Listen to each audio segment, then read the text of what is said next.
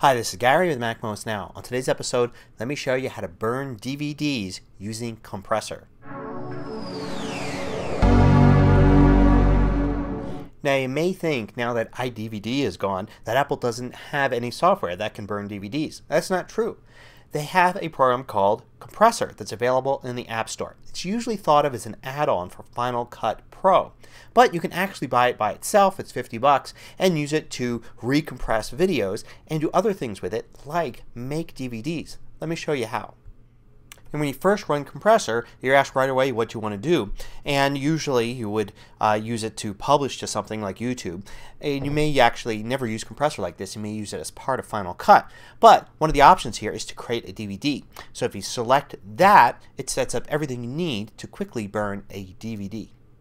So here's Compressor. It looks pretty complex and it is. It has tons of different functions. It's used by video pros. But you only need to know a few things to use it to make a DVD.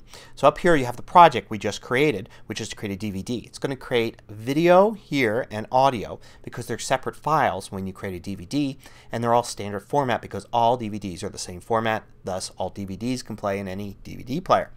So you're not going to mess with any of these settings all you need to do is add your video. And this, this, this drop zone right here is where you want to do that. So uh, I'm going to go to some sample video that I have and I'm going to just drag and drop it right into there. And, and that's it. I've got my video in. It should be one long video file and it will burn that to a DVD. But first, there's some things that we can do. We can go into the inspector here and with this job selected um, we can go to job action and make a bunch of changes. Uh, when the job completes we can create a DVD. That's what we want to do. The output device can be either your DVD drive, assuming of course you have one, uh, but you can also save it as files to your hard drive. It will create a disk image that can then be burned to a DVD later on using software. Uh, you can choose a template. There's only two, black and white. You can see down at the bottom here the black template. If I switch to white, it's the same thing with just a white background. Um, either way, I can add a background myself. Click that add button and I can add an image that's the background, either the menu or the chapter menu. So I would add two backgrounds, one with main menu selected, one with chapter menu selected. And then I can choose what happens when the disk loads. So I can have it skip the menu completely and just play the movie. Um, I can also set the title of the DVD. So once I have that the way I want, I can preview the video here on the right. And here I can drag this little uh, preview thing here. I can set the start and stop if I want it to start and stop at different times than the very beginning and very end. Um, and I can also add markers which will become chapter markers. So for instance if I want to add a marker I can go here to add marker or just M and I can remove it with M. Uh, and that'll add a chapter called Chapter 1, another chapter called Chapter 2, that kind of thing. I could also do import chapter list and I can select something. I've got a text file here.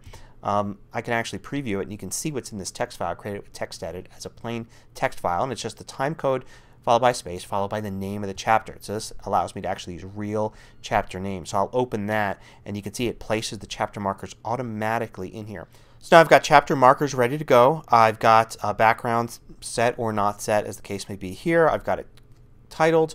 Uh, to actually burn the disk what I would do then is to go uh, move the inspector over and I can see under here there's a submit button and when I hit submit uh, it will actually start uh, building the DVD.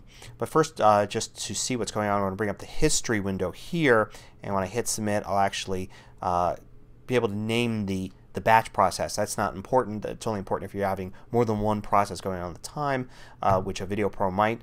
I'm going to hit submit and you can see it's actually creating this DVD here and it's going to build it uh, first uh, exporting the video and then the audio and then building a DVD.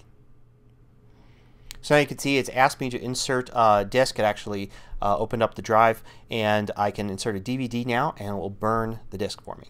So that's how you use compressor to create simple DVDs. Now it's nothing like what iDVD used to do. I mean, you used to have menus and you can create all sorts of different layers of complexity with images and slideshows and all sorts of stuff. But, you know, compressor will get your stuff onto a DVD if you absolutely need to present your video as a DVD. So it's a useful option at 50 bucks in the Mac App Store. And if you want to use it for other things like compressing video for, or, and uploading to YouTube, doing other tasks with it, then it might make it even more worthwhile. Hope you found this useful. Till next time, this is Gary with MacMost Now.